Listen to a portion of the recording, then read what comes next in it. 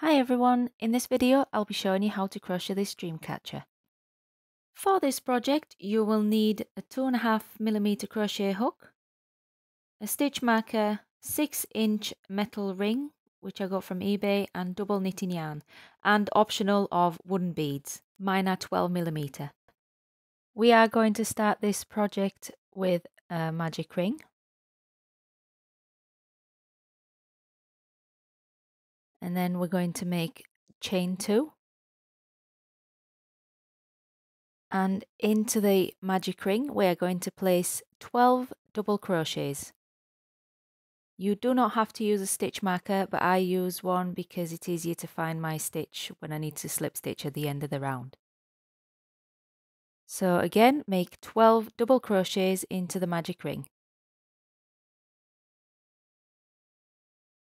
When you've finished your round, pull on the tail to, to close the ring and place a slip stitch in the first double crochet of the round.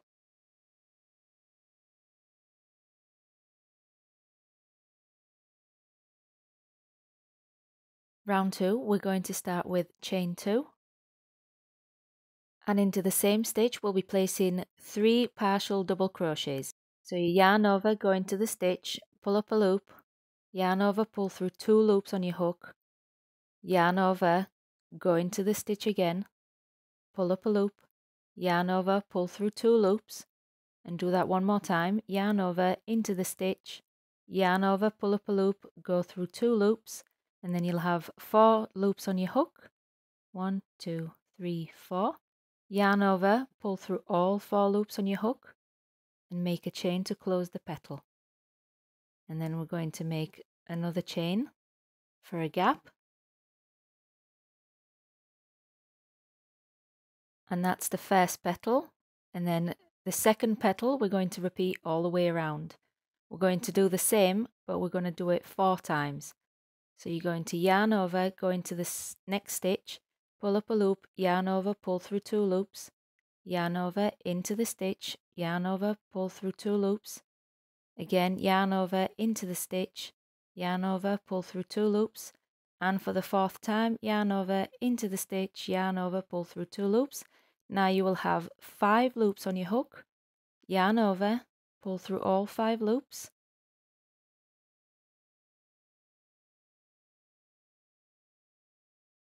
then make a chain to close the petal and then one more chain for the gap.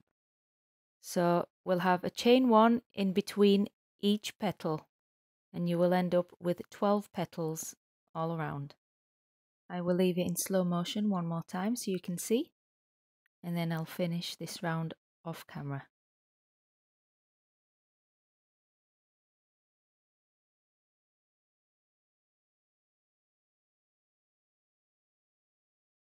Five loops on your hook pull through all five, chain one to close, and chain one for the gap. Repeat this all around for total of 12 petals. When you finish the round, slip stitch into the first chain gap.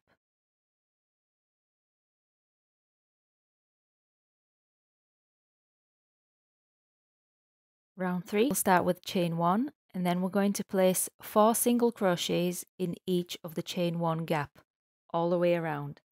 And in this round we're going to finish with 48 single crochets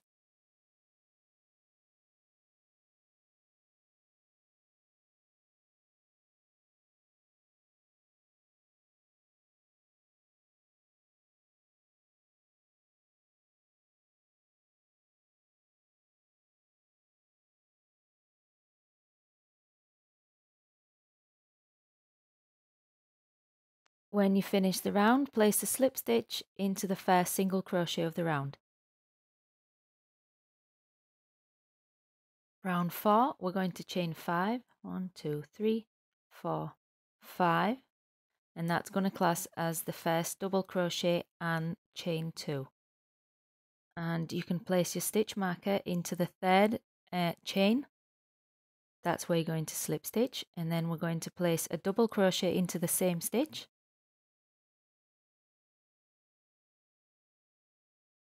and then we're going to skip two stitches and place a double crochet into the next one.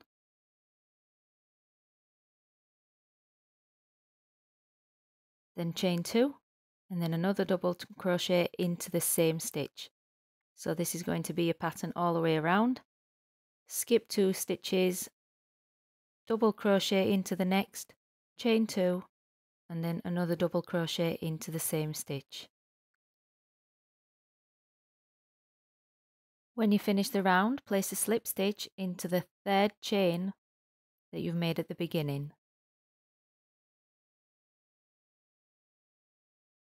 Now, round five, we're going to start with a chain one.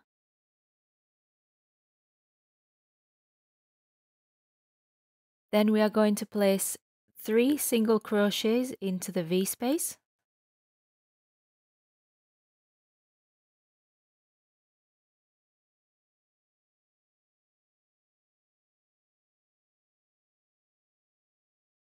And then one single crochet into the upside down V space.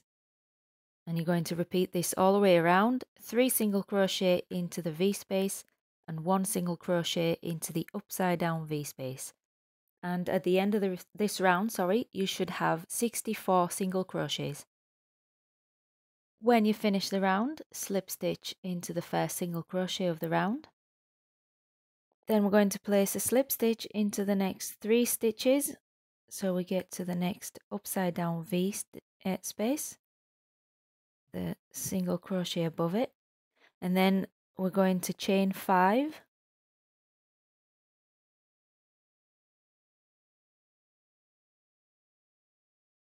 Then we're going to place a slip stitch into the single crochet above the upside down V and then we're going to chain five again and then slip stitch into the next upside down V. And this is you're going to repeat this all the way around and you are going to end up with 16 little gaps.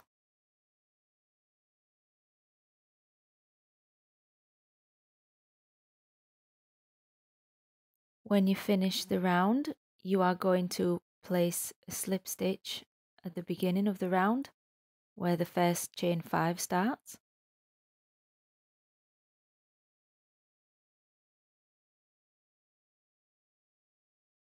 Then we are going to place a slip stitch, chain 1 and then another slip stitch so we get to the middle of the next space. Chain 1, slip stitch. There we go. Now we are going to and make another round of chains. So chain five, that's one, two, three, four, five, and then slip stitch into the next space. And then you're going to repeat this all the way around. Place your stitch marker if you need it. And then chain five again. One, two, three, four, five. And slip stitch into the next space.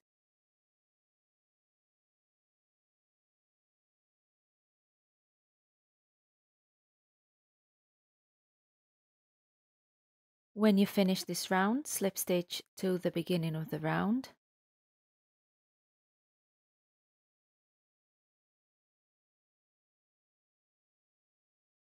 Round 8 we're going to start with a slip stitch into the next space and then we're going to place a single crochet and place your stitch marker if you need and it's going to be repeated pattern in each space around so continue with half double crochet. And then a double crochet. Chain one. And then backwards double crochet. Half double crochet. And a single crochet. And then do the same on the next space. Single crochet. Half double crochet. Double crochet chain one backwards now double crochet half double crochet and a single crochet and repeat this all the way around for a total of 16 little waves which will turn into triangles when we attach them to the ring.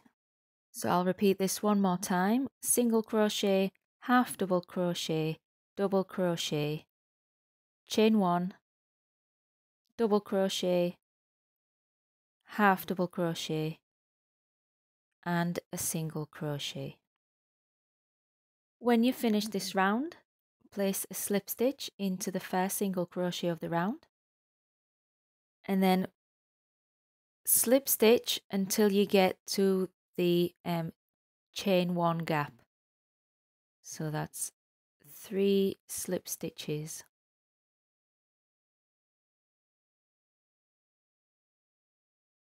And then we're going to take the ring and bring it from the top of the project that the um, yarn comes from comes from behind it.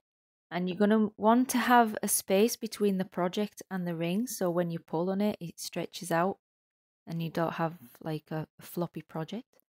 And then make a slip stitch onto the ring. And then you're going to chain one and place seven single crochets onto the ring itself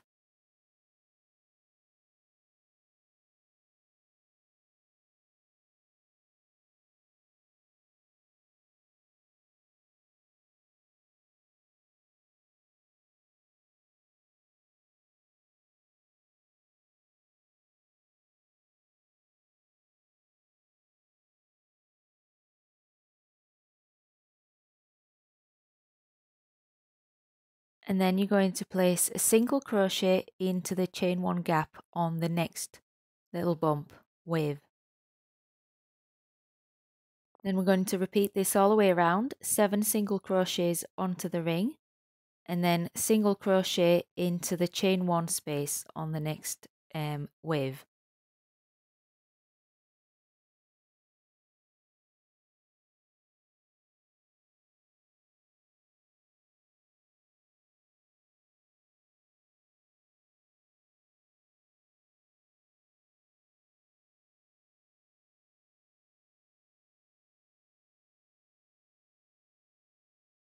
And as you're working around, you go, you, you're going to have to stretch it and you might have to um, manipulate the stitches around on the ring a little bit, like move them around a little. And when you're finished, we are going to place a slip stitch into the first single crochet of the round. And your stitches might rise up a little bit to the um, top. So all you need to do is just push them around and then we'll straighten out. Now we're going to make the uh, hanging loop. So we're simply going to chain 10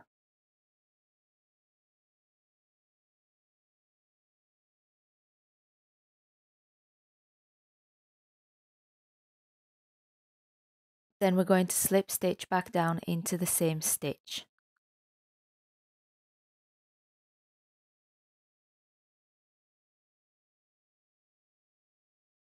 Then pull your yarn through and cut yourself a little tail to weave in.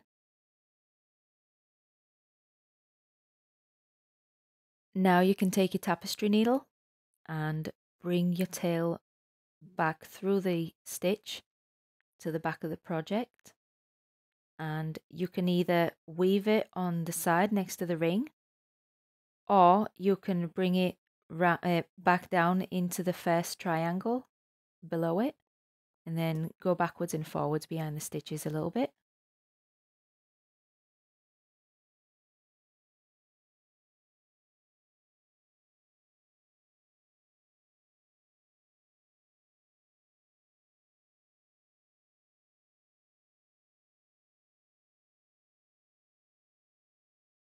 And then do the same on the other tail from the beginning.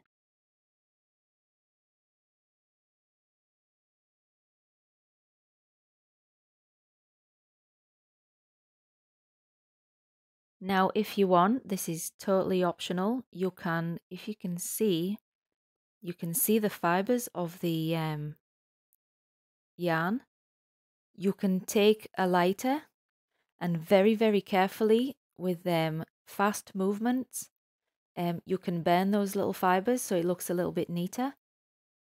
So you literally just turn the lighter on and just go over it and it will burn the little hairs that poke out and you can go all the way around on the front and on the back. Don't don't get stuck on one point because you might leave a burn mark. And this is the actual speed I'm doing it at. It's not um, sped up or anything. So just make sure you're not hovering. Just do it fast and then you can do it on the back on the back of the project as well. And for this side I'm going to speed it up a little bit.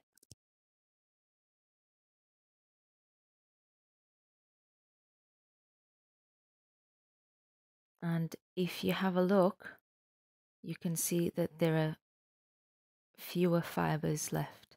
So it makes it look a bit neater. And in my opinion, it looks better. So now we're going to make the tassels. This box that I'm using is about 10 centimeters wide.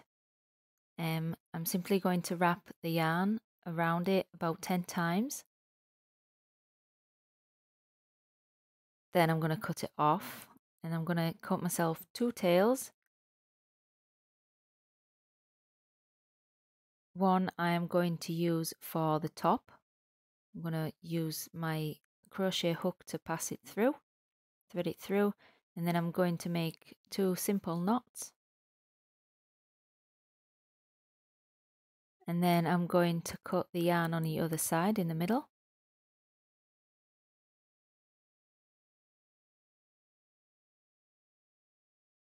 And then I'm going to use the second tail that I've cut to make the little bobble at the top of the tassel with two um, knots again. And if you notice, the second time that you tie it, one strand will go upwards and one strand will go downwards. I am only going to cut the strand that goes upwards. And then make two more. Ta-da! Now you have three. And I am going to add uh, two wooden beads, which is entirely up to you if you want to add them or not. It looks beautiful without it as well. So I'm just going to thread the two beads and going to attach it onto the dream catcher. We're going to count backwards um, the triangles and we want the one right below it. So if you count it in twos, you'll find the middle one. Thread it through and take one of the ends out of the needle and take it through another stitch and tie those two little ends together with a double knot. You can make it as long or as short as you want, it, it's up to you. And then I'm going to cut the tails off.